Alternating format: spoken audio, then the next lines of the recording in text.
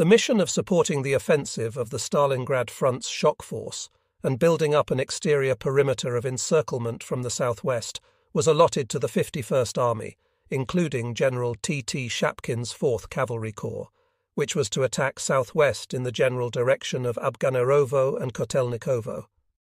The troops of the Stalingrad front were to be supported by the 8th Air Army under the command of Major General T. T. Khryukin.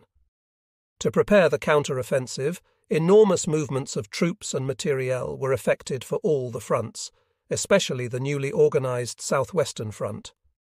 One must give credit to the General Staff and the staff of the Red Army Logistics Division for the brilliant way in which they coped with massing the forces for this operation.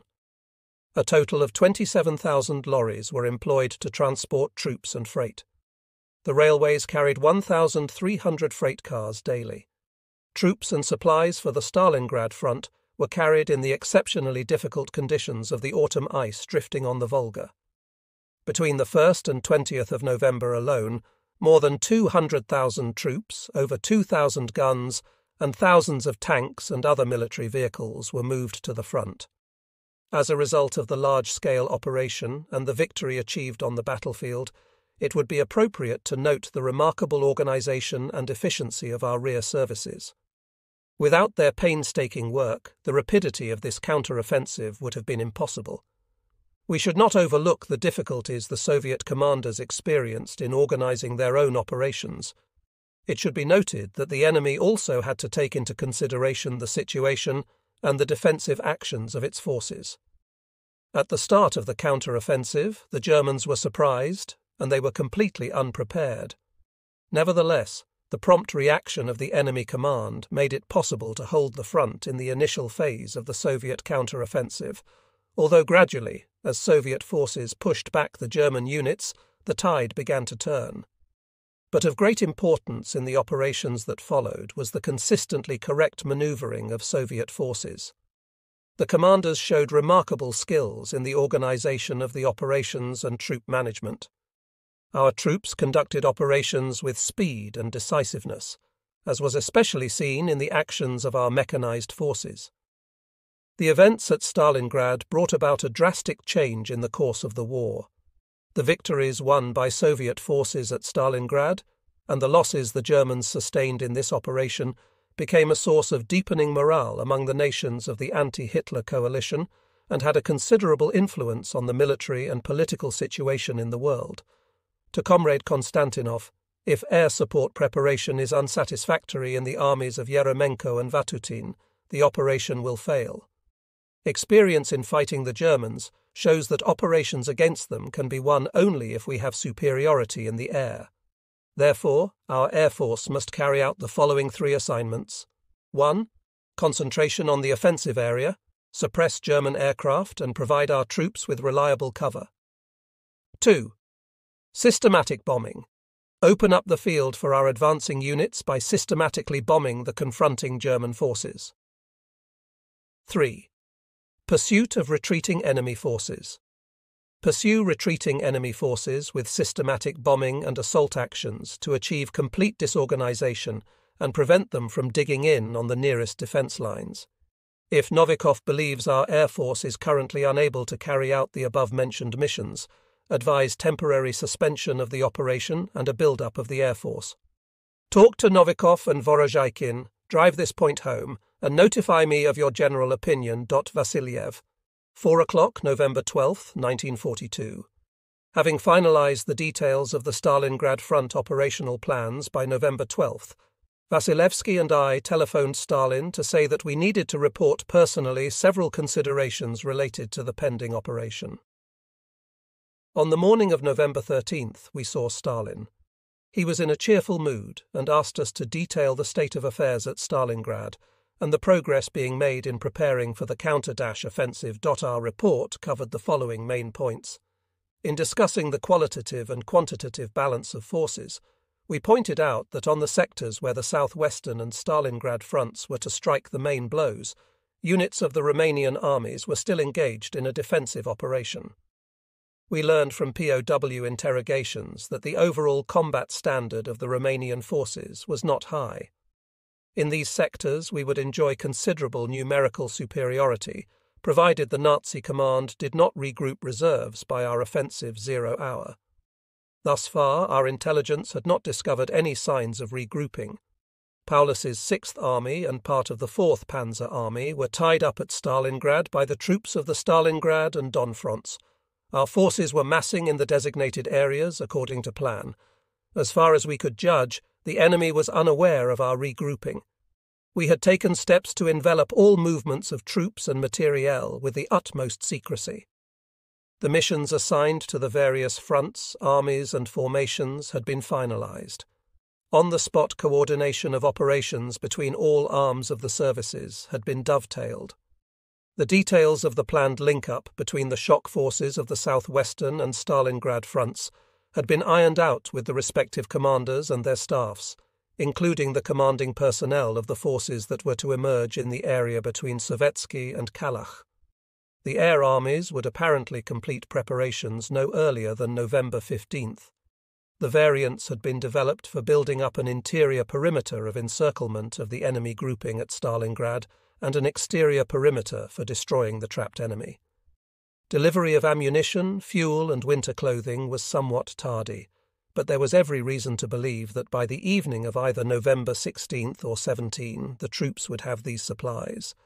The counter-offensive could start by the southwestern and Don fronts on November 19th, while the Stalingrad front was to begin operations 24 hours later. The southwestern front would begin earlier because its tasks were more complicated. It was stationed far from the Kalach-Sovetski area and had to cross the Don. The Supreme Commander listened attentively. By the way he unhurriedly puffed his pipe, smoothed his moustache, and never interrupted once, we could see that he was pleased. The Stalingrad counter-offensive operation implied that Soviet forces would henceforth control the initiative. We were confident that the pending counter-offensive would be successful and would do much for the ultimate liberation of our homeland from the Nazi invaders. While we were presenting our report, members of the State Defense Committee and some members of the Politburo came in, and we had to repeat some of the major points we had already covered. After a brief discussion, the plan for the counter-offensive was given full approval. Vasilevsky and I pointed out to the Supreme Commander that as soon as German troops at Stalingrad and in the northern Caucasus found themselves in a desperate spot, the Nazi High Command would be compelled to transfer some of its forces from other sectors, particularly from Vyazma, to assist the southern grouping. To prevent this, it was essential to urgently prepare and conduct an offensive north of Vyazma and first smash the Germans in the Rzhev salient. We suggested using troops in the Kalinin and Western fronts for this operation. That would be fine, Stalin said, but which of you two will take charge? As Vasilevsky and I had already agreed on that score, I explained, The Stalingrad operation is completely ready. Vasilevsky can coordinate operations at Stalingrad while I take charge of the preparations for an offensive by the Kalinin and Western fronts. The Supreme Commander consented and instructed Fly out tomorrow morning to Stalingrad and once again check troop and command readiness for the start of the operation. On November 14th, I made another tour of Vatutin's forces. Vasilevsky, meanwhile, went to see Yeremenko. The next day, I received a cable from Stalin saying, To Comrade Konstantinov, personal. Set a day for the resettlement of Fyodorov and Ivanov at your discretion, and subsequently report back to me upon arrival in Moscow. Should you believe it necessary for either of the two to start resettlement one or two days earlier or later, I authorize you to decide this matter too, at your own discretion. Vasiliev, 1310, November 15th, 1942. Vasilevsky and I discussed the matter and set November 19th as the zero day for the Southwestern Front and the 65th Army of the Don Front, and November 20th as the zero day for the Stalingrad Front. The Supreme Commander endorsed our decision. On November 17th, I was summoned to the Supreme Command GHQ to work out in detail the operation for the Kalinin and Western fronts. At 7:30 on November 19th, the troops of the southwestern front struck a telling blow, breaking the defences of the 3rd Romanian Army on two sectors simultaneously.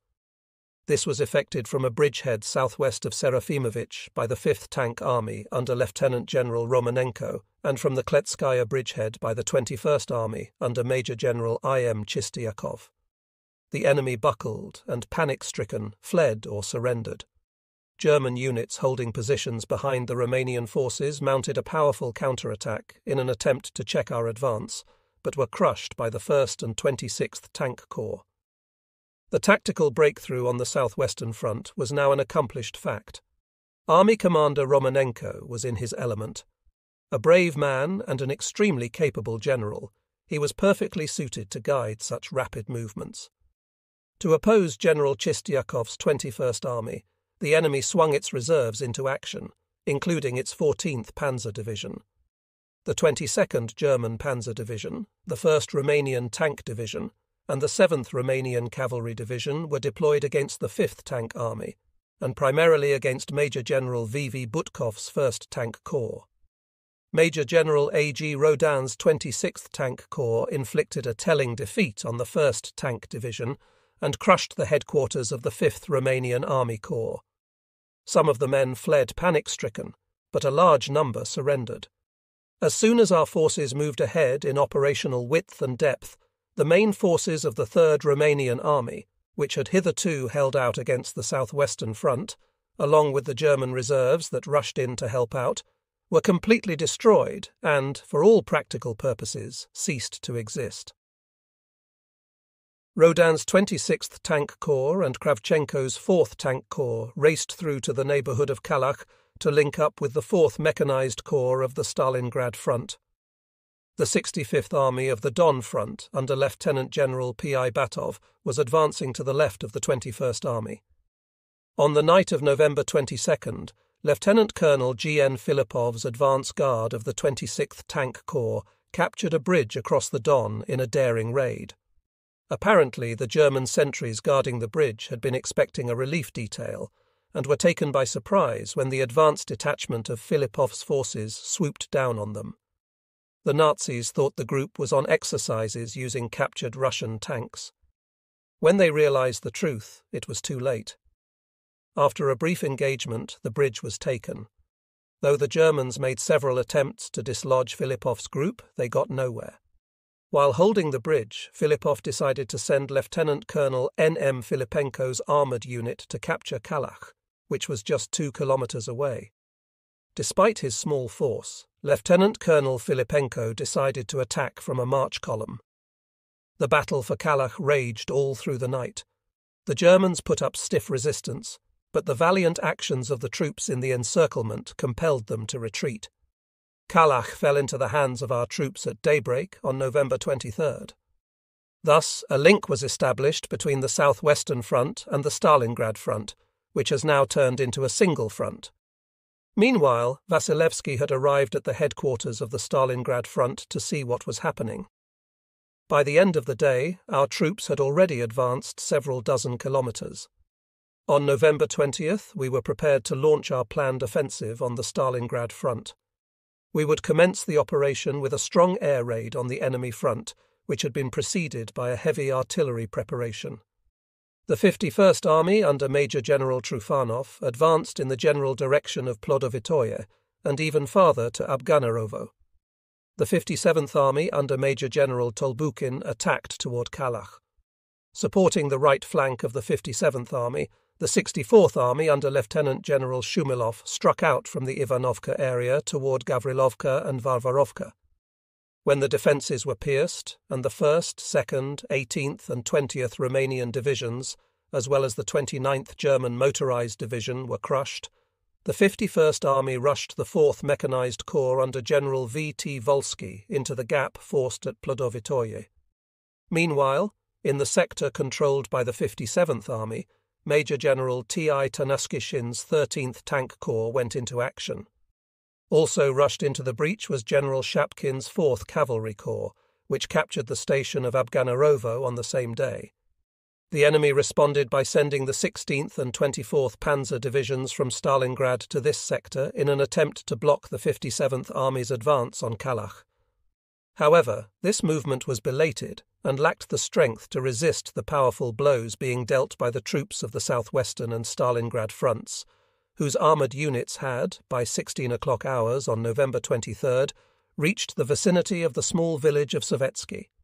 There, the 45th Tank Brigade of the 4th Tank Corps under Lieutenant Colonel P.K. Zhidkov was the first to link up with the 36th Mechanized Brigade under Lieutenant Colonel M.I. Rodionov of the 4th Mechanized Corps.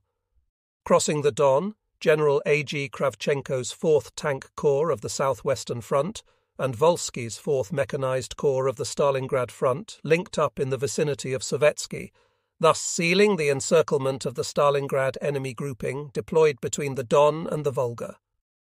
This enabled the 64th, 57th, 21st, 65th, 24th, and 66th Armies to press ahead in the general direction of Stalingrad, compressing in a pincer movement the interior perimeter of encirclement of the enemy. In their pursuit of the retreating enemy, the 1st Guards Army, the 5th Tank Army of the Southwestern Front, and the 51st Army of the Stalingrad Front, which had been reinforced with armoured formations, were to hurl the smashed enemy units further back from the encircled Stalingrad grouping and build up a firm exterior perimeter necessary for annihilation of the trapped enemy. This concluded the first phase of the counter-offensive. By early December, the enemy had been firmly hemmed in, at that point, our forces embarked upon the next phase, destroying the trapped grouping. Vasilevsky and the General Staff kept me well posted on the progress of the counter-offensive. After the encirclement of the 6th German Army and units of the 4th Panzer Army, it was crucial to prevent an enemy breakout. On November 28th, I discussed the pending offensive with the commanding officers of the Kalinin Front at their headquarters. Late that night, I received a call from the Supreme Commander, who asked me whether I knew about the latest developments at Stalingrad. When I confirmed that I did, the Supreme Commander asked what action I thought should be taken to destroy the Nazi forces encircled there. On the morning of November 29th, I cabled the Supreme Commander. At the present juncture, unless there's a secondary enemy attack from Nizhny Cherskaya and Kotelnikovo, the trapped German forces will not attempt a breakout, the Nazi command will apparently try to hold on in the area of Stalingrad, Vertyaki, Marinovka, Karpovka, and the Gornaya Polyana State Farm.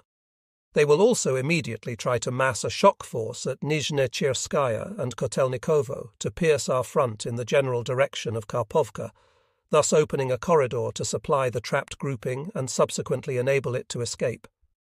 Under favourable circumstances, the enemy may prove able to open up such a corridor in the sector of Marinovka, Lyapichev, and Verkhne with its front facing north. The other side of this corridor, with its front facing southeast, may run along a line extending from Tsaibenko through Zeti and Gnilovskaya to Shebelin. To prevent a link up of the Nizhny Chirskaya and Kotelnikovo enemy groupings with the Stalingrad grouping, and the formation of such a corridor, I suggest the following hurl back as soon as possible the Nizhnecherskaya and Kotelnikovo groupings, and deploy close battle formations along the Oblivskaya Tormosin Kotelnikovo line. We must have in reserve two armoured groups, each having at least 100 tanks, at Nizhnecherskaya and Kotelnikovo.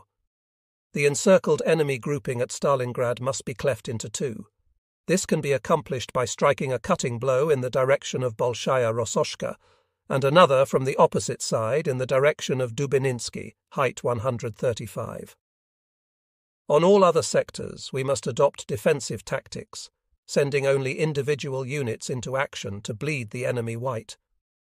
After the encircled enemy grouping is cleft, we should first destroy the weaker grouping and subsequently strike with all our force at the Stalingrad grouping. Zhukov, November 29, 1942. After submitting my report to the Supreme Commander, I telephoned Vasilevsky, who supported my arguments. We also exchanged views on the pending operations of the Southwestern Front. Vasilevsky agreed temporarily to suspend the Big Saturn operation and direct the attack mounted by the Southwestern Front at the flank of the enemy's Tormosin grouping. The General Staff held the same view. The Southwestern Front was assigned a mission coded Small Saturn Under this plan, the 1st and 3rd Guards armies and the 5th Tank Army were to strike out in the general direction of Morozovsk and destroy the enemy grouping in that sector. This was to be supported by the 6th Army of the Voronezh Front, which was to advance in the general direction of Kantemirovka. The Nazi command badly needed reserves to remedy the catastrophic situation on the Stalingrad and Caucasian sectors. To prevent forces from being rushed from Army Group Center, the Soviet Supreme Command decided to supplement the counter-offensive at Stalingrad with an offensive operation by the Western and Kalinin fronts against the German troops holding the Rzhev salient. Between November 20th and December 8th, the planning and preparation of this operation were finalized. On December 8, 1942, the fronts were issued the following directive. In combined operations, the Kalinin and Western fronts are by January 1, 1943, to crush the Rzhev Sykovka Olenino Bely enemy grouping and firmly dig in on the line running through Yarygino, Sykovka, Andreyevskoye, Lenino, Novoye Azhevo, Dentialevo, and Svity. The Western Front must a pierce enemy defences in the Bolshoye Kropotovo and Yarygino sector on the 10th and 11th of December, take Sikovka no later than the 15th of December, and move into the Andreyevskoye sector on the 20th of December, no less than two rifle divisions to work with the 41st Army of the Kalinin Front to seal encirclement of the enemy. B. After penetration of the enemy defences and the emergence of the main force on the railway line, turn the front's mobile group and at least four rifle divisions north to attack the enemy's Rzhev Chertolino grouping in the rear. C. Use the 30th Army to pierce defences in the sector stretching from Koshkino to the road junction northeast of Burgovo, and reach the railway line in the vicinity of Chertolino no later than December 15th. Upon reaching the railway line, enter into combined operations with the front's mobile force and, striking out along the railway line, advance on Rzhev. the Kalinin. Front must a. Deploy the 31st and 39th Armies to attack the enemy from Yarygino towards Sikovka. b.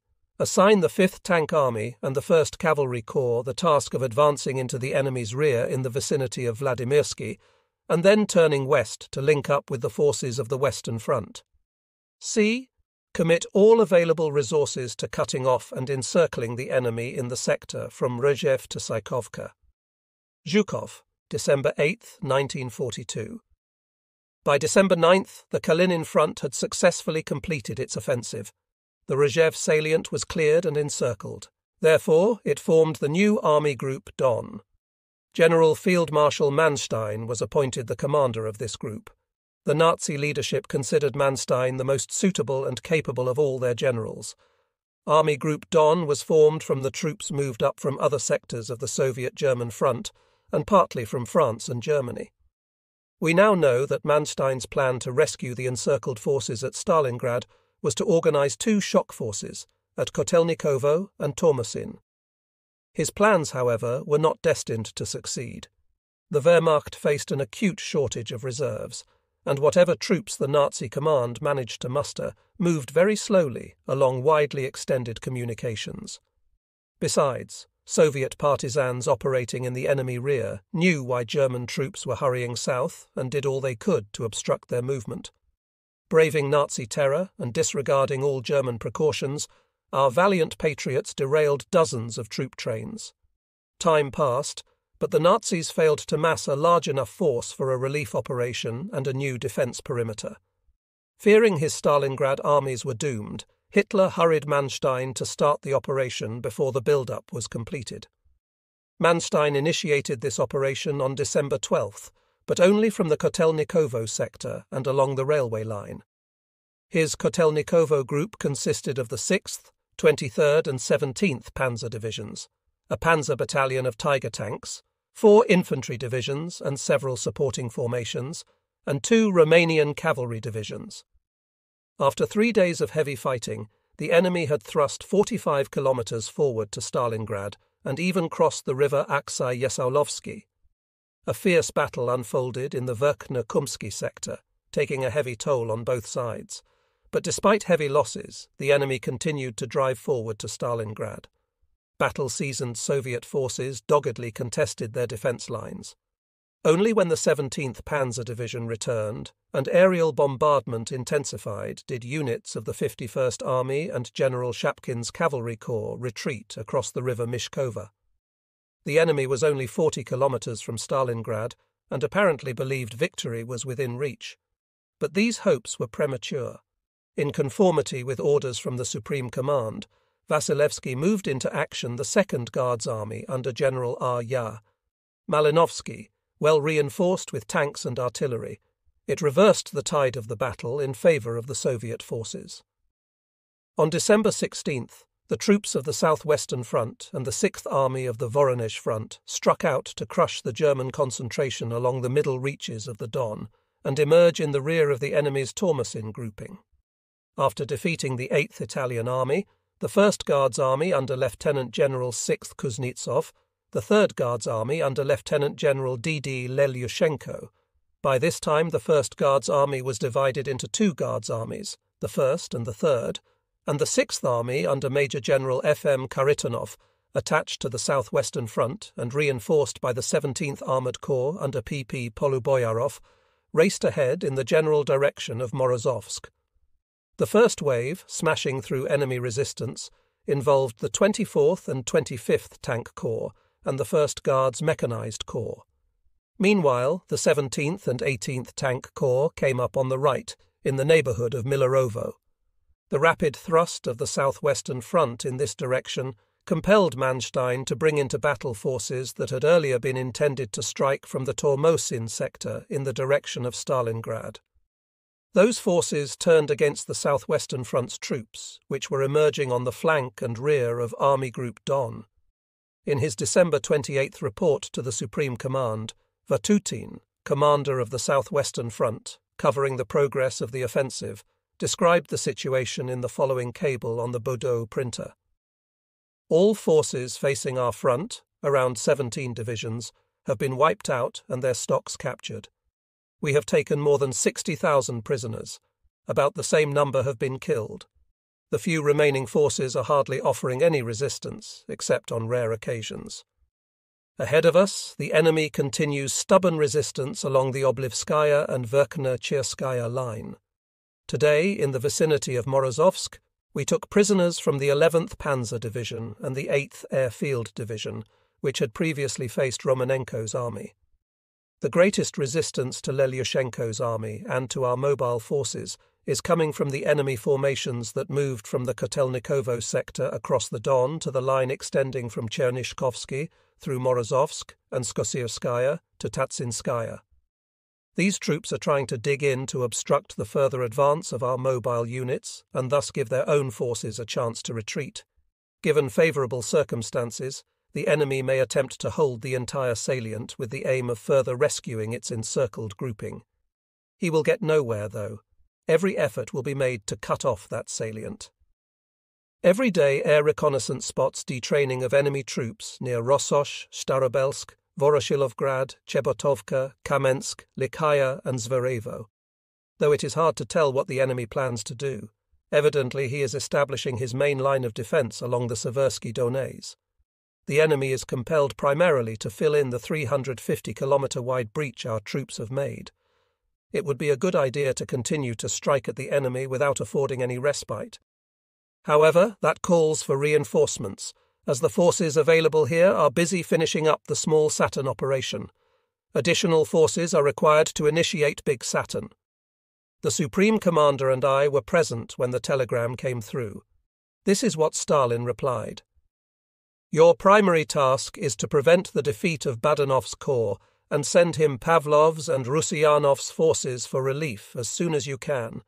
You were right to permit Badanov to leave Tatsinskaya if absolutely necessary. It's advisable to use some infantry formation to bolster your blow at Tormosin with the 8th Cavalry Corps. You were right to dispatch the 3rd Guards Cavalry Corps and the Rifle Division to Tormosin via Suvorovsky. To develop small Saturn into Big Saturn, we have already sent you the 2nd and 23rd Tank Corps. In a week, you will get two more armoured corps and three or four rifle divisions. We have doubts about your plans to send the 18th Tank Corps to Skosyrskaya. Better keep it at Millerovo and Verkhna Tarasovskoye, together with the 17th Tank Corps. Generally, bear in mind that it is safer to send two armoured corps at a time on long range missions to prevent a repetition of Badanov's plight. Then I inquired of Vatutin, Where is the 18th Tank Corps at the moment? It's directly east of Millerovo and won't be isolated, Vatutin replied. Keep Badanov in mind all the time. Rescue him at any cost, I instructed. I will do absolutely everything possible to rescue Badanov, Vatutin assured us. We had good reason to discuss the 24th Tank Corps under VM Badanov. Here is what happened. Entering the breakthrough northwest of Boguchar at 1830 hours on December 17th, the 24th Corps advanced some 300 kilometres fighting every inch of the way and destroying, en route to the Tatsinskaya railway station, 6,700 enemy troops and capturing a great deal of hardware. Coming up to this station on the morning of December 24th, the Corps swung into the attack from marching orders, assaulting the station from various sides. A group under Guards Captain Aya Fomin crossed the railway line Likhaya Stalingrad and burst into the station. Mowing down the enemy guard, the group captured a trainload of disassembled aircraft. I very much regret that the brave Captain Fomin was killed in this operation. At the same time, Captain Emi Nechaev's tanks roared onto the airfield, where more than 200 German transport aircraft stood ready to take off, and crushed the whole lot under their treads.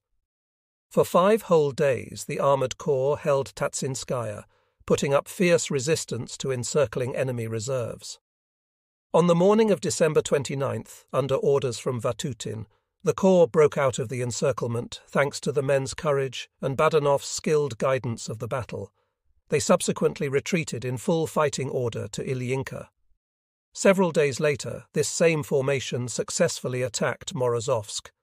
In token of its signal contribution to the enemy rout in the Volga Don area, the 24th Corps was renamed the 2nd Guards Tatsinskaya Tank Corps while its commander, Badanov, was the first in the USSR to be decorated with the Order of Suvorov, second class.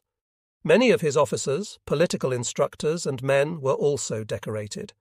The successful blows struck by the troops of the southwestern and Stalingrad fronts on the Kotelnikovo and Morozovsk sectors sealed the fate of Paulus's encircled troops at Stalingrad. Having brilliantly fulfilled its task, the Second Guards army emerged in the rear of the enemy, thus preventing any chance of retreat. The surrounding of the German troops was so efficient that no one could believe Paulus could retreat. However, the full ring could not be closed until after our troops crossed the River Don.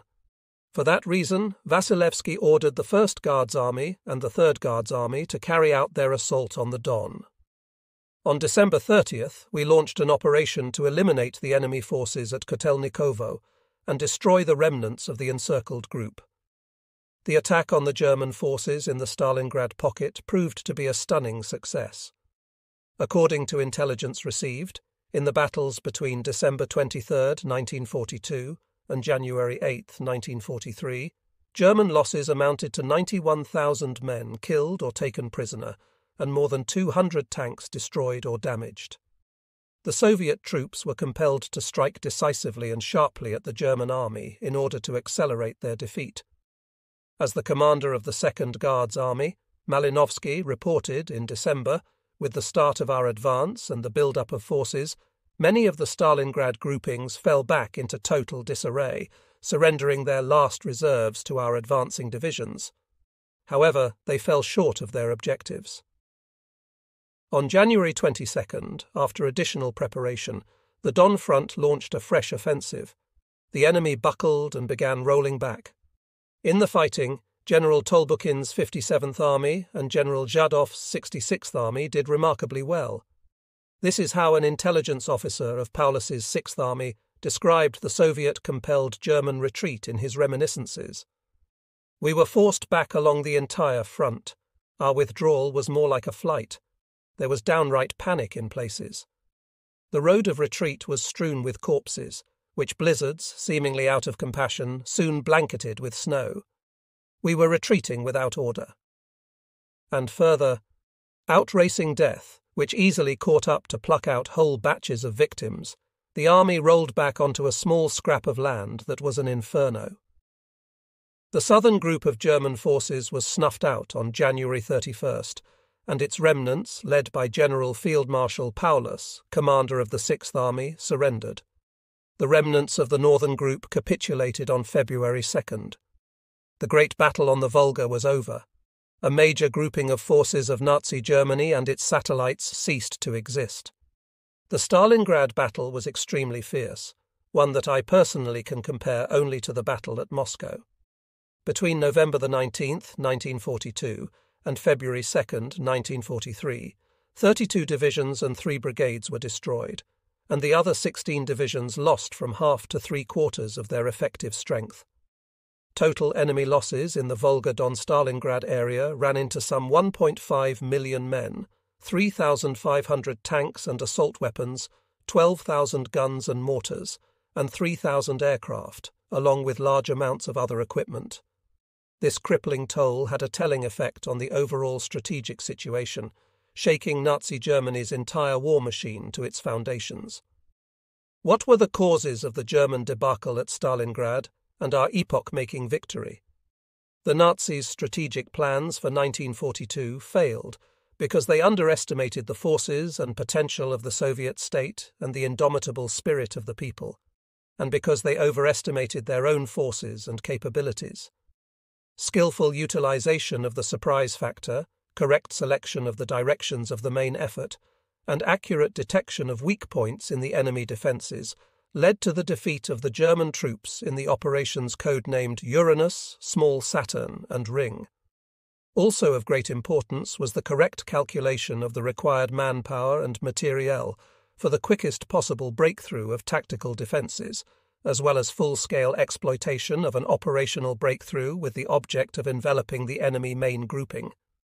The actions of the armoured, mechanized, and air forces were decisive in swiftly enveloping and routing the enemy. The commanders and staff officers left nothing to chance. They meticulously thought out every detail in preparing the counter offensive and during the offensive, control of the troops in all echelons was marked by clarity of purpose, firmness, and foresight. The party political work conducted by the military councils, political bodies, party and YCL organizations, and commanders fostered in soldiers' confidence and bravery and encouraged mass heroism on the battlefield, contributing significantly to the enemy's defeat. The Stalingrad victory turned the tide of war in favor of the Soviet Union and launched the massive efforts to drive the enemy off Soviet territory. After the battle, the Soviet Supreme Command took possession of the strategic initiative and held it until the war was over. It was a jubilant, though hard won, victory not only for the fighting forces directly destroying the enemy, but also for the Soviet people working day and night to provide the army with the wherewithal to successfully rout the enemy. Patriots of Russia, Ukraine, Byelorussia, the Baltic republics, the Caucasus, Kazakhstan, and Central Asian republics earned immortal fame through their staunchness and mass scale heroism. Henceforth, enemy officers and generals and the German people generally began showing more openly their aversion to Hitler and the entire Nazi leadership they realized that Hitler and his entourage had embroiled the nation in what was an out and out gamble, and that the victories he had promised had evaporated with their troops in the catastrophe on the Don and the Volga and in the northern Caucasus. The Stalingrad defeat, Lieutenant General Westphal observed, came as a deep shock to both the German nation and their army. Never before in all of Germany's history had there been so fearful an end of so large a force.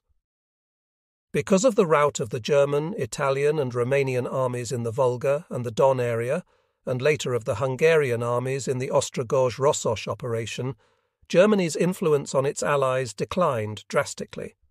Discord and friction set in when the Allies lost faith in Hitler's leadership and wanted to break out of the web of war in which he had enmeshed these countries. The German debacle at Stalingrad had a sobering effect on the neutral countries and those still pursuing a wait and see policy, compelling them to acknowledge the USSR's superb power and the inevitable defeat of Nazi Germany. It is common knowledge that news of the Nazi debacle at Stalingrad prompted jubilation around the world. It was a tremendous inspiration to peoples to further their efforts against Nazi occupation. For myself personally, the defense of Stalingrad, the preparation of the counter-offensive, and participation in deciding the main aspects of operations in the south were of special importance, as I had now accumulated far more experience in mounting a counter-offensive than I had at Moscow in 1941, where limited forces did not permit a counter-offensive with the aim of encircling an enemy grouping. For successful general leadership of the counter-offensive at Stalingrad and the major results, along with others, I was decorated with the Order of Suvorov First Class, Number 1. I regarded this decoration not only as a great personal honour, but also as a summons to work still harder to bring nearer the hour of the complete rout of the enemy, the hour of total and final victory. Vasilevsky, Voronov, Vatutin, Yeremenko, and Rokossovsky were also awarded the Order of Suvorov First Class. Many generals, officers, sergeants, and soldiers also received high government decorations. The successful defeat of the German forces at Stalingrad, on the Don, and in the Caucasus opened the door to a stepped up offensive on the southwestern direction by all the fronts. After smashing the enemy in the Don Volga area, successful operations were conducted in the Ostrogozh Rossosh and the Voronezh Kastornoye sectors. Soviet troops forced ahead, moving further west and taking Rostov, Novocherkassk, Kursk, Kharkov, and a number of other key areas. The overall operational and strategic situation along the entire Soviet German front had swung steeply against the Nazi forces. The Battle of Stalingrad was a real landmark in the campaign of the winter of 1942 1943, an event of tremendous international importance. Once the enemy had been annihilated in the Demyansk area on the northwestern front, our troops advanced to the river Lovat.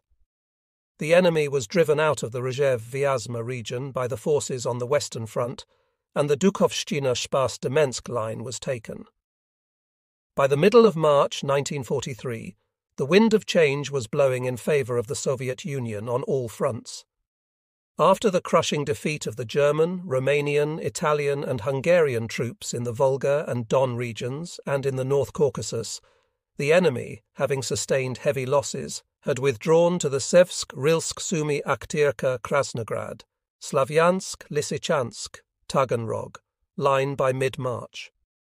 From the moment the Soviet forces started the counter-offensive near Stalingrad in November 1942 until March 1943, they routed more than 100 enemy divisions. Naturally, these great victories were won at a great cost to our fighters and the Soviet people, for we also sustained heavy losses. A lull followed on the fronts, except for sectors of the Voronezh, southwestern, and southern fronts, and in the Kuban area, where bitter fighting continued. To prevent the situation of its forces on the southern flank of the front from further deteriorating after obtaining reinforcements, the German High Command organised a counter-offensive on the southwestern front. This operation was to push our forces back beyond the river Seversky Donets, and then, under the cover of the defences, to attack the forces on the Voronezh front and capture Kharkov and Belgorod. As was later discovered from captured documents, if the situation had been in their favour, the Nazi command had intended to step up operations and eradicate the Kursk salient. At the beginning of March, from the Lyubotin area, the enemy dealt a telling counterblow at the forces on the left flank of the Voronezh front. Owing to their losses, our troops were compelled to withdraw. The enemy seized Kharkov again on March 16th and began to mount an offensive on the Belgorod sector. A representative of the Stavka at that time, I was on the northwestern front, which was under the command of Marshal Timoshenko. Having reached the river Lovat, we advanced towards Pskov. I had anticipated that the Germans would take advantage of their successes at Kharkov and seek to deal a further blow to our troops, now newly reinforced and steadily assembling in the Kursk area. A front meeting took place in early April. I then submitted my analysis of the enemy's plans. The German General Staff was evidently expecting to launch a decisive counter-offensive against our forces on the southern front during the summer. This conclusion was drawn from the fact that German intelligence had developed a full picture of the strengths of our troops there and their forward positions. The enemy intended to mount a large scale offensive on the Kursk salient with the aim of smashing the defending troops and securing a solid foothold on the left bank of the River Don. That would afford them the opportunity to achieve a breakthrough to the east, capturing Voronezh and encircling our troops in the southern and southwestern fronts but the Soviet command was determined to thwart these plans. On the night of May 2nd, a meeting of the Military Council took place in Voronezh. As a result of our discussion, it was decided that in preparing for operations in the summer campaign of 1943, we should not only concentrate all available forces, but also, having accumulated experience from the successful Stalingrad offensive, focus on the area of the Kursk salient the Soviets decided to combine their defensive and offensive efforts in such a way as to build a defense line and at the same time, if circumstances permitted, to prepare for a counter-offensive. On May 3rd, the Commander-in-Chief issued an order to concentrate forces for defense along the entire front and to prepare a counter-offensive at the appropriate moment. The enemy's counter-offensive began on June 5th with strikes against our troops on the Voronezh front. In this situation, the rear areas of the German forces were again infiltrated by Soviet troops, who attacked their rear, so as to sow panic in the ranks of the German troops, hinder their communications, and diminish their fighting capacity. As a result of a combined operation, the enemy sustained heavy losses in manpower and equipment. However, the German command could not shake off the effect of their miscalculations and underestimated our forces in the sector of the Kursk salient. By the beginning of July, having concentrated the utmost in their forces in the main direction of the attack, the Germans dealt a powerful blow to the Kursk salient on July 5th. Our troops were well prepared and equipped with fortifications. They fought fiercely, inflicting heavy losses on the enemy. The Germans did not take the Kursk salient. This time, despite all their efforts, they were unable to make a breakthrough and penetrate into our lines. They sustained considerable losses 600 tanks, 800 guns and mortars, and 10,000 men. I had moved from Voronezh to the southern front in early June and was directing the defence of the Kursk salient. The enemy could not understand that the more they concentrated their forces for an attack on the Kursk salient, the more difficult it became for them to manage their forces and maintain operational effectiveness. The key features of the operation were the utilization of the troops' fighting spirit, weapons, and rapid maneuverability to disrupt the enemy's plans, a new and decisive factor that hastened the onset of our final victory.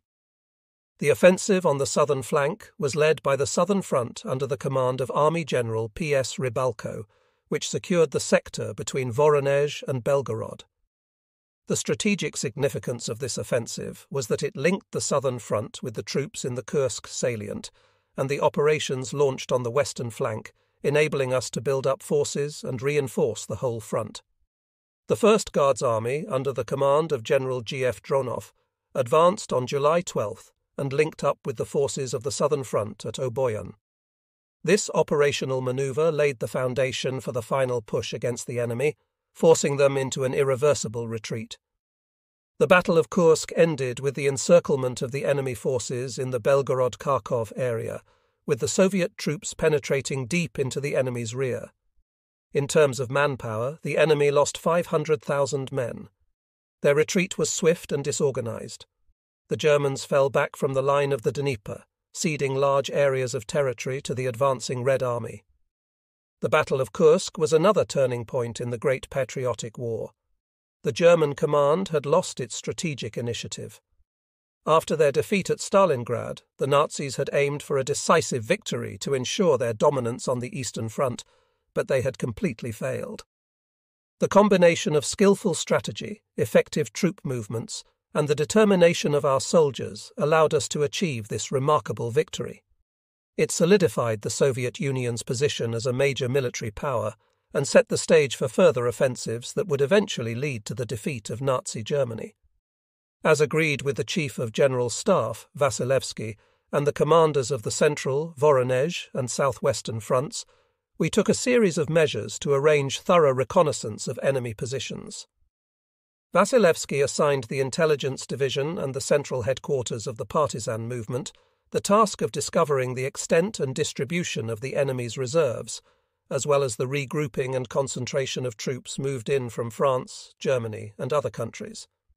In general, the impact of our offensive operations against the enemy was significantly intensified by the activities of the partisans, which were arranged and directed from the centre through the constant and indefatigable efforts of local underground party organisations. The actions of the partisans were coordinated with those of the regular army, assisting in obtaining data on the enemy while destroying reserves, cutting communications, and hampering the redeployment of enemy forces and weapons. In 1942, the Nazis had to deploy almost 10% of their ground forces on the Soviet German front against the partisans. In 1943, SS and SD police forces, along with 500,000 soldiers from auxiliary units and more than 25 divisions from the army in the field, were employed for these purposes. The Communist Party carefully supervised the patriotic struggle of the people against the Nazi invaders, rendering valuable assistance to our regular forces Communists in partisan detachments not only took up arms in the struggle, but also did much to politically enlighten the population by circulating leaflets, making appeals, disseminating reports from the Soviet Information Agency, and exposing the mendacious propaganda put out by the enemy. The partisans' efforts significantly undermined the morale of the enemy forces. The forces on the fronts carried out intensive reconnaissance both from the air and on the ground within their sectors. Consequently, by the beginning of April, we had sufficiently detailed information on the deployment of enemy forces around Orel, Sumy, Belgorod, and Kharkov. Once I analysed these data, along with those obtained from the wider theatre of operations, and discussed them with the commanding officers of the Voronezh and Central Fronts, and then with the Chief of General Staff, Vasilevsky, I sent the Supreme Commander the following report. To Comrade Vasiliev, 5:30 a.m., April 8, 1943. I hereby state my opinion on the possible movements of the enemy in the spring and summer of 1943 and our plans for defensive actions in the coming months. 1. Having suffered serious losses in the winter campaign of 1,942 43rds, the enemy does not appear able to build up significant reserves by spring to resume the offensive on the Caucasus and push forward to the Volga for a wide enveloping movement around Moscow. 2.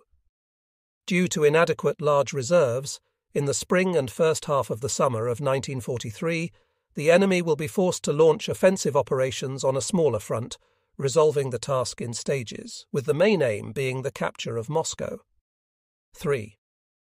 At the first stage, having gathered as many of his forces as possible, including at least 13 to 15 tank divisions and substantial air support, the enemy will evidently deal a blow with his Orel Kromy grouping in the enveloping movement around Kursk from the northeast and with the Belgorod Kharkov grouping from the southeast.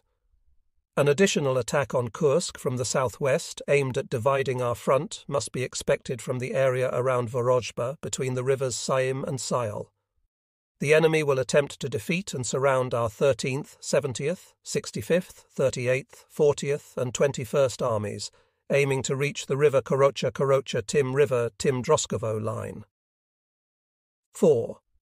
At the second stage, the enemy will attempt to flank and strike at the rear of the southwestern front, generally moving through Valuiki Urazovo, to counter this offensive, the enemy may deal a blow at the Lysychansk area on a northern Svatovo Urazovo sector.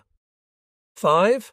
At the third stage, after regrouping, the enemy may try to reach the Lysky Voronezh Yelets front and, taking cover southeast, may launch an offensive as part of a wide enveloping movement around Moscow from the southeast via Ranenburg Ryazhsk Ryazan. 6.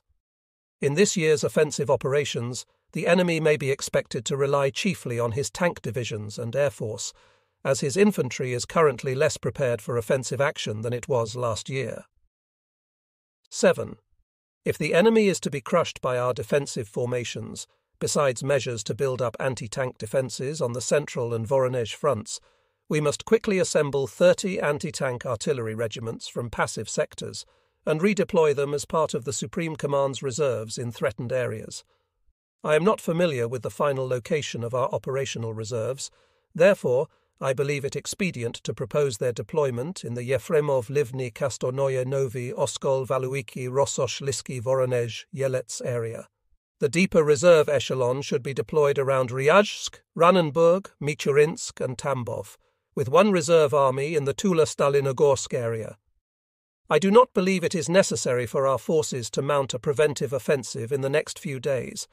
It will be better to wear the enemy out in defensive action, destroy his tanks, and then, by taking in fresh reserves, launch an all out offensive to finish off the enemy's main grouping. Our forecasts aligned with what the Nazi commanding officers intended to do. The orders issued by Hitler on April 15, 1943, read as follows General Headquarters of the Fuhrer, April 15, 1943. Top secret, for commanding officers only. As soon as weather conditions permit, I have decided to launch the Citadel Offensive, the first offensive operation this year. Decisive importance is attributed to this offensive it should be carried out rapidly and with definite success, giving us the initiative for the entire spring and summer of this year. In this connection, all preparatory measures should be implemented with the greatest care and energy. The best formations, armaments, commanding officers, and a large amount of ammunition should be used where the main thrusts are made. Each commanding officer and every soldier must thoroughly understand the decisive significance of this offensive the victory near Kursk should be a torch for the whole world. I hereby give the following orders 1. The aim of the offensive is a concentrated thrust carried out decisively and rapidly by forces from Belgorod and the area south of Orel to surround and destroy the forces in the Kursk area. 2. It is necessary a. To take every possible advantage of the surprise factor and to keep the enemy unaware particularly regarding the offensive's start date. B. To ensure maximum concentration of striking forces on a narrow sector to break through enemy defences, taking advantage of overwhelming superiority in all means of attack in that area tanks, assault equipment, artillery, mortars, etc., and thereby close the encirclement. For purposes of secrecy, only those whose involvement is absolutely necessary should be informed of the plans for the operation. Thus, having appraised the situation correctly before the German offensive was launched, the Soviet commanding officers had precisely determined the probability and direction of the Nazi forces' maneuvers in the Kursk Bulge area. On April 9th or 10, I don't remember exactly, Vasilevsky arrived at the headquarters of the Voronezh front. We discussed my report in detail, the prevailing situation, and the plans for the disposition of operational and strategic reserves as well as the nature of the forthcoming operations. We concurred on all questions. Having drawn up a draft for the Supreme Command Directive regarding the disposition of the Supreme Command reserves and the establishment of the Steppe Front, we sent it to the Supreme Commander bearing our signatures. This document outlined the armies and means of reinforcements on the fronts. It was proposed that the Steppe Front headquarters be established in Novi Oskol with a command post in Korocha and an auxiliary troop control post in Veliki Boluk.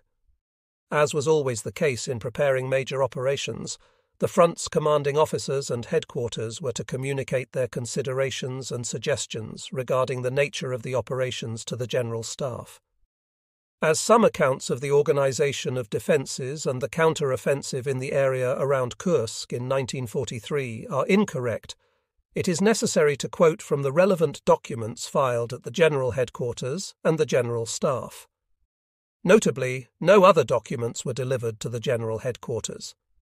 Here is the report from April 10th, sent on orders of the General Staff by the Chief of Staff of the Central Front, Lieutenant General M. S. Malinin, from the Central Front, April 10, 1943.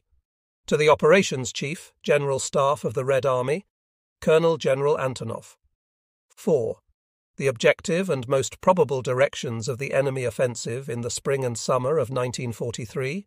A. Taking into account the forces and means, and importantly the outcome of the offensives in 1941 and 1942. An enemy offensive is expected solely in the Kursk and Voronezh operational direction. B. The general strategic situation at this stage of the war favours the Germans holding Crimea, Donbass, and Ukraine, advancing the front to the Shtarovka Starobelsk Rovenki Lisky Vorona. ZH sector, using powerful forces to strike at Kursk and Orel. C. The most favourable area for the enemy to deploy tanks in the offensive is from Valuiki to Belgorod. D. Their grouping in the first echelon consists of six, seven armies, including tank and motorized divisions, with an objective to break through our defences along the Orel Kursk sector, surround and destroy our forces, and strike northward toward Orel Kursk and finally to Moscow. Upon analysing this report, I gathered that the command at the Central Front believed the enemy could gather the necessary forces for a decisive blow. Thus, the defenders were entrusted with assembling their own reserves. The general intentions of the Central Front Command aligned with our proposals for deploying reserves along the proposed lines. To ensure better coordination, it was agreed to maintain direct communication with the fronts and hold consultations regarding possible courses of action Thus, a difficult stage awaited us, both in organising the defences and coordinating the activities of the various branches of the armed forces. Having properly understood the nature of the enemy's intentions, we did not allow ourselves to be distracted from any of the measures vital for the realisation of our plans. We fortified our positions, ensuring good communication among them and gathering sufficient forces for our counter-offensive. To reach the desired outcome, I constantly insisted on the need to adjust the organisation of defence forces and deploy artillery in adequate numbers on the sectors threatened by the enemy. Vasilevsky, his deputy AI Antonov, and I spent the whole day on April 12th preparing the necessary information for the report to the Supreme Commander. The three of us got down to the work we had been commissioned to do early in the morning, and since we were fully in accord with one another, everything was ready by the evening.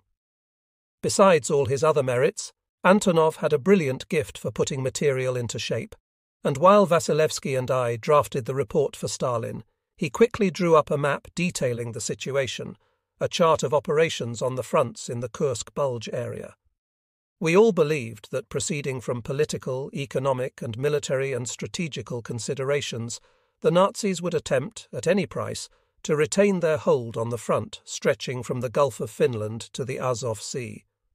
They could fit out their own forces well in one of the strategical directions and make ready for a big offensive operation in the Kursk salient area in an attempt to rout the forces of the Central and Voronezh fronts there. This could change the general strategical situation in favour of the German forces, not to mention the fact that, in these circumstances, the overall length of the front would be considerably shortened, and the general operational density of the German defence positions would be increased. The situation in this sector would make possible a two pronged movement towards Kursk, one thrust from the area south of Orel and the other from the Belgorod area. It was assumed that the German commanding officers in the remaining sectors would carry out defensive operations, as, according to our General Staff, there the Germans did not have necessary forces for offensive operations.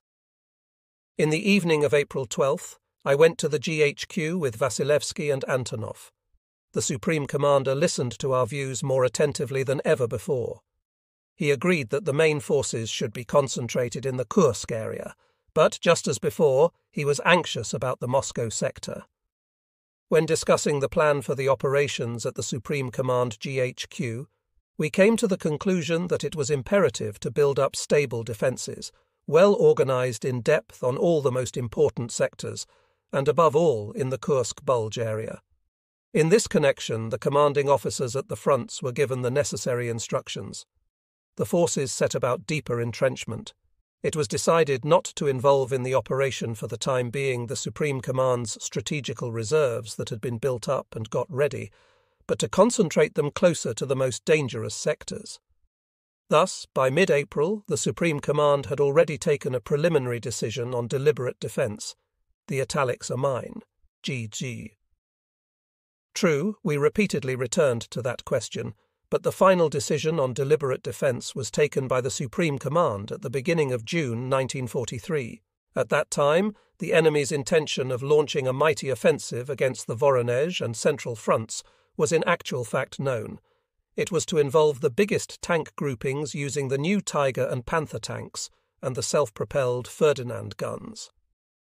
The Supreme Command considered the Voronezh, Central, Southwestern, and Bryansk fronts to be the main ones involved in the action at the first stage in the summer campaign. According to our calculations, this was to be the main scene of action. We wanted to counter the expected offensive of the German forces with a powerful defence, to defeat them, and above all, to crush the enemy tank groupings, and then, going over to a counter offensive to rout the enemy at long last. Simultaneously with the plan for deliberate defence and counter-offensive, it was also decided to work out a plan for offensive operations, without waiting for the enemy offensive if he should postpone it for a long period. Thus, our forces' defences were in no way necessitated, but purely deliberate ones, and depending on the situation, the Supreme Command was to choose the moment for going over to the offensive. It was borne in mind that things should not be done in too much of a hurry, nor should they be dragged out too much either. The italics are mine. G. G. At the same time, it was decided in which sectors the Supreme Command's main reserves should be concentrated. It was intended to deploy them in the Livni Stary Oskol Korocha area, where defences were to be organised should the enemy break through in the Kursk Bulge area. Other reserves were to be stationed behind the right flank of the Bryansk front in the Kaluga Tula Yefremov area. The 5th Guards Tank Army and a number of other formations of the Supreme Command's reserves were to prepare for action beyond the junction of the Voronezh and southwestern fronts in the Lisky area. Vasilevsky and Antonov were ordered to set about drawing up all the documents needed regarding the plan adopted, in order to discuss it yet again at the beginning of May. I was instructed to fly to the North Caucasian front. Heavy action was being conducted there to annihilate the enemy's Taman grouping, the core of which was formed by the well equipped 17th Army of the German forces. The elimination of the enemy on the Taman Peninsula was of great significance to the Soviet command. Besides destroying a big enemy grouping of 14 to 16 divisions, numbering approximately 180,000, 200,000 men in this sector. As a result of this operation, we liberated Novorossiysk. Since the first half of February, the heroic detachment of men of the 18th Army and the sailors of the Black Sea Fleet had been fighting here on a small bridgehead. People's Commissar for the Navy N.G. Kuznetsov, Air Force Commander A.A. Novikov, General S.M. Shtemenko of the General Staff, and I arrived at General Leselidze's 18th Army. Once we had familiarized ourselves with the situation, forces, and resources of the army and the sailors of the Black Sea Fleet, we all came to the conclusion that it was impossible at that time to take any kind of big measures to extend the Novorossiysk bridgehead, which the troops used to call the Little Land. Indeed, that bridgehead was no more than 30 square kilometres in area, all in all. At that time, there was one question that particularly worried us namely whether the Soviet fighters would hold out in the face of the ordeals falling to their lot in an unequal struggle with the enemy who made air attacks on and subjected to artillery fire the defenders of this little bridgehead day and night. We wanted to ask the advice of the head of the political department of the 18th Army, L.E. Brezhnev, about this. Brezhnev had been here numerous times and was familiar with the situation but at that moment he was on the little land where extremely fierce fighting was going on. From what the commander of the army, Leselidze, told us, it was clear that our forces were completely determined to fight the enemy until he was ultimately defeated and not allow themselves to be pushed into the sea. Having told Stalin my views, Shtemenko and I set out for the 56th Army on the North Caucasian front, which was commanded by General A. Agreshko at that time. At that moment, another offensive was planned in the area of the Cossack village of Krimskaya, but the army's commanding officers considered that they were not sufficiently prepared for it. They decided to postpone the attack, to bring up the ammunition and the artillery from the passive sectors of the front, and planned the best ways of using the aircraft and the Special People's Commissariat of Internal Affairs Division from the Supreme Command's reserves. At the same time, we also worked together with the commanding officers of the 18th Army. This army's landing party needed the support of the fleet and air attacks at Myskhako on the enemy, who confronted the heroic members of the landing party. Before this, the 56th Army had fought a number of brilliant battles in which it had liberated the area around the River Kuban. Now it was to smash the enemy defences of the 17th Army in the area around Krimskaya and take the enemy's Novorossiysk grouping in the rear. It was further planned to combine the efforts of the forces on the front to eliminate the enemy's Taman bridgehead.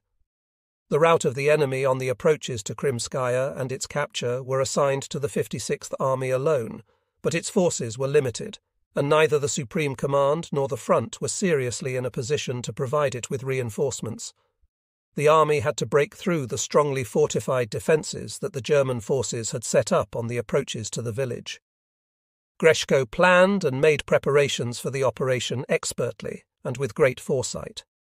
The 56th Army's offensive on Krimskaya began on April 29th.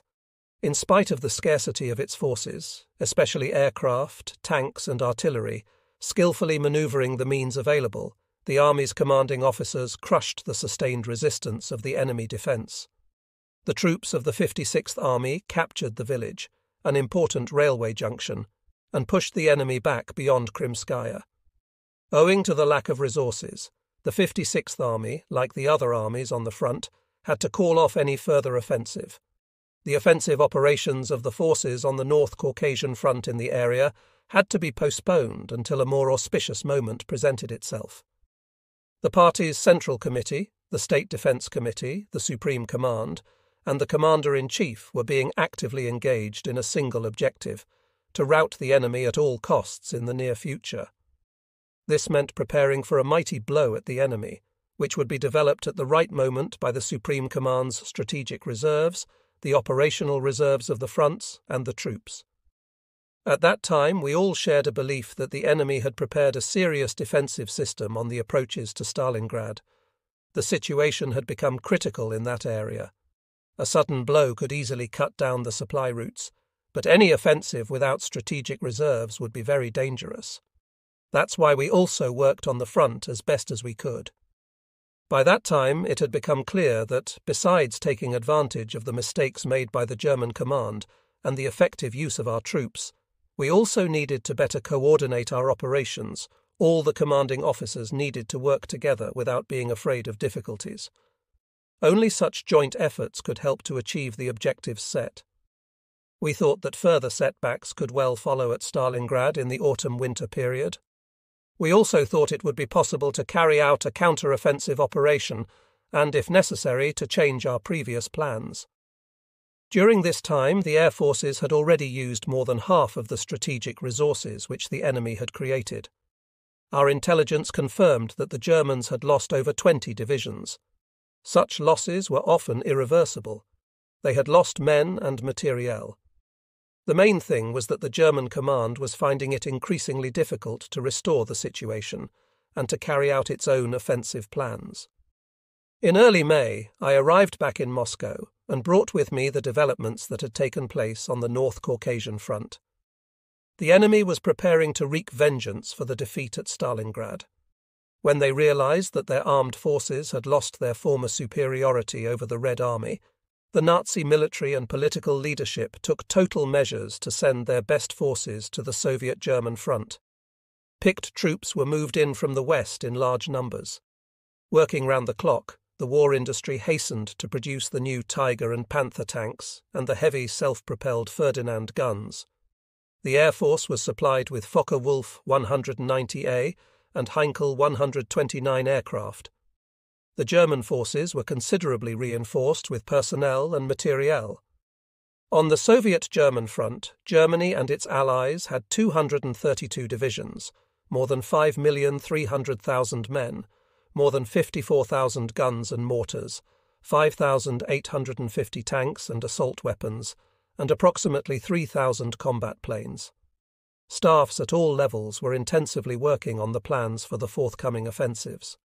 To conduct the operation planned against the Kursk salient, the Nazi command concentrated 50 of its best divisions, including 16 tank and motorized divisions, 11 tank battalions, and assault weapon divisions comprising up to 2,700 tanks and assault weapons, and more than 2,000 aircraft, almost 69% of all the combat planes on the Eastern Front.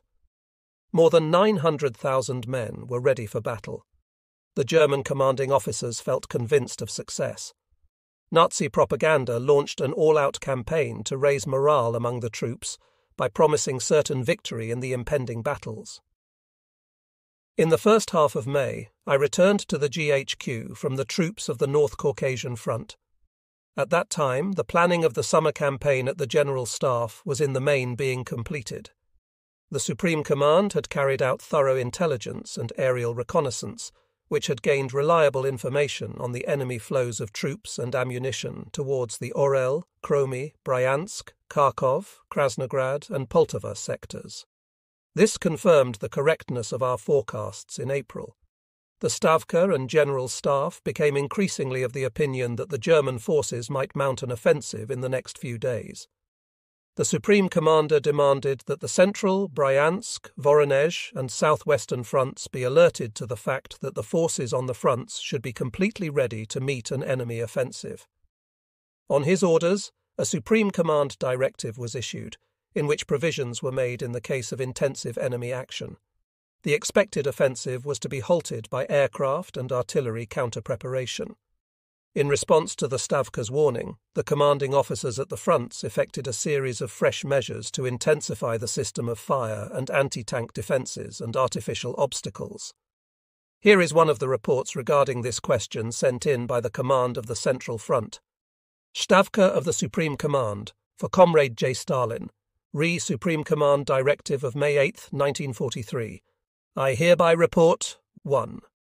On receiving the Supreme Command Directive, all the armies and independent corps on the Central Front were ordered to have their troops ready for battle by the morning of May 10th. 2. Throughout May 9th and 10, a. The troops were told of the likelihood of an enemy offensive within the next few days. b. Units of the first and second echelons and of the reserve were made completely ready for battle. The commanding officers and staffs are inspecting troop readiness on the spot. c. Army reconnaissance and fire have been intensified within the army zones, especially on the Orel sector. In units of the first echelon, the reliability of coordinated fire is being checked in practice. The units of the second echelon and the reserve are doing additional reconnaissance in the directions of possible action and are defining more precisely aspects of coordination with units of the first echelon. The ammunition stocks are being replenished at firing positions Fortifications have been strengthened, especially on sectors where tanks may be used. Mines are being laid in depth in defence zones. The technical communications have been checked and found to operate faultlessly. 3. The 16th Air Army has stepped up aerial reconnaissance and is keeping the enemy under careful observation in the Glazunovka Orel Kromy Komariki area. Air formations and army units are ready to counter enemy air attacks and put a stop to any possible enemy offensive operations. 4. To frustrate a possible enemy offensive on the Orel Kursk sector, counter preparations have been made involving the artillery of the 13th Army and the aircraft of the 16th Air Army. Rokossovsky, Telegin, Malinin. Very similar reports arrived from the other fronts. General of the Army Vatutin regarded the situation taking shape somewhat differently. Although he was not opposed to the defence measures, he suggested to the Supreme Commander that a forestalling blow should be struck at the enemy's Belgorod Kharkov grouping. In this, he had the full support of the Military Council member Khrushchev. Chief of the General Staff Vasilevsky, Antonov, and other General Staff officers were not in favour of this proposal of the Voronezh Front Military Council. I concurred completely with the opinion of the General Staff and reported this to Stalin. The Supreme Commander himself was not yet certain whether it was better to counter the enemy with defensive operations or to deal a forestalling blow at him. Stalin was afraid that our defences could not take the German forces' blow, as had been the case several times in 1941 and 1942. At the same time, he was not sure that our troops were in a position to defeat the enemy in offensive action. After repeated discussions, the Supreme Commander resolved to counter the German offensive with all kinds of depth echeloned defences, with mighty attacks from the air and counterblows from operational and strategic reserves. Then, once the enemy was exhausted and drained of his lifeblood, to strike at him with a telling counter-offensive on the Belgorod Kharkov and Orel sectors, followed by deep thrusts on all the major sectors. After defeating the Germans in the Kursk Bulge area, the Supreme Command intended to liberate the Donbass, the whole of the left bank Ukraine, eliminate the enemy's bridgehead on the Taman Peninsula, liberate the eastern areas of Byelorussia, and create conditions for driving the enemy out of our territory completely.